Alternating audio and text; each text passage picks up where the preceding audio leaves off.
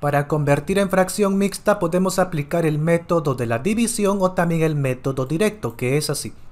El que está debajo, o sea, 9 multiplicado con qué número me acerco al de arriba, pero sin pasarme. Por ejemplo, 9 por 7 63, se pasó. 9 por 6 54, ahora sí. No se pasó. El 6 que hemos encontrado viene a ser la parte entera. El que está debajo sigue debajo y de 54 para llegar a 57 falta 3 y eso viene en la parte de arriba.